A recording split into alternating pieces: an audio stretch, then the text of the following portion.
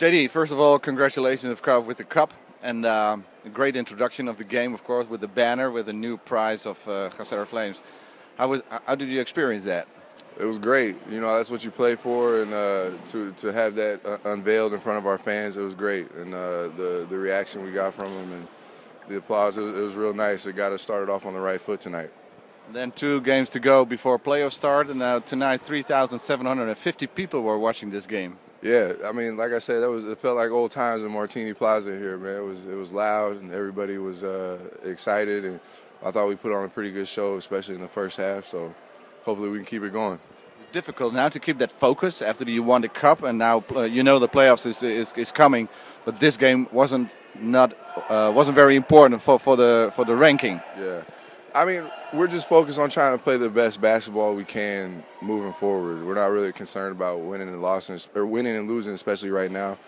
Um, we, we feel like if we do what we're supposed to do and play uh, to our potential, we, we the results will take care of themselves. Your shot is doing very well, huh? Yeah, I mean, I put a lot of time in it, and uh, you know, it's uh, it's been it's been working out pretty well for me the last few months. It's 17 points this game. And uh, another player who's also got 17 points was Dan Coleman. Dan, um, how did you experience this game? Well, it was exciting. Uh, you know, we've played Den Helder quite a bit, so you know we know them, they know us. So it was a good game, nice experience, kind of a you know playoff atmosphere game. So it was a good game.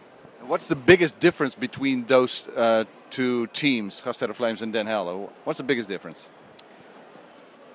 Uh, I mean, today I would just say everybody seemed to be clicking pretty well. You know, a lot of people were contributing. We were passing well, and when we're doing those things, we're tough to guard. And you were doing very well. Also, 17 points in this game. Are you feeling comfortable uh, lately?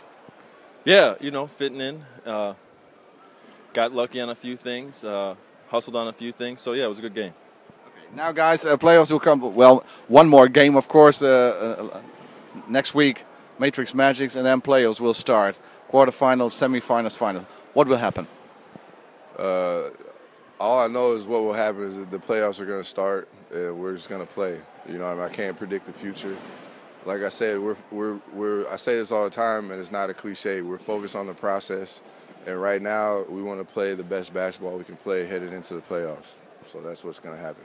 There's one big difference between you guys that you've seen it a lot of times here. What what can happen in Groningen when playoffs will start, and then you, you don't know yet. But do you have any idea what will happen? No, but I mean it's not my first year. You know, playoffs are a different season, different intensity. Uh, you got to step your game up. So I'm just anticipating that. And I think we can say already now that Groningen is uh, is ready already.